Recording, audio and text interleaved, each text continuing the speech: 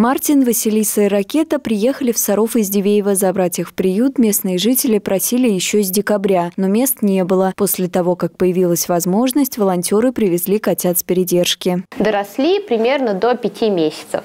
Тоже история стандартная, то есть э, породистая кошка, британская, веслоухая, самовыгульная, не стерилизованная. Вот принесла пятерых котят, до нас доехало трое. У кошки Василисы порода видна особенно ярко по ушкам и трехцветному нежному окрасу. Котик-ракета бело-серый, очень любопытный и игривый. Имя он получил не только из-за неугомонного нрава. 12 апреля, в день космонавтики, ему будут делать вторую вакцинацию. Котенок Мартин тоже. Этимология имени проста, принесли в марте, ну, значит, будешь ты Мартин.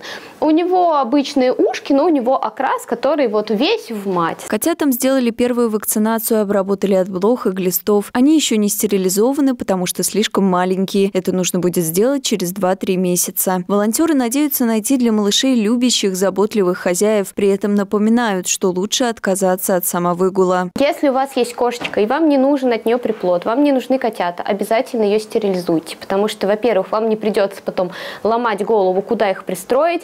А, к тому же стерилизация потом благотворно скажется на здоровье кошки, у нее гораздо меньше риск возникновения рака молочных желез.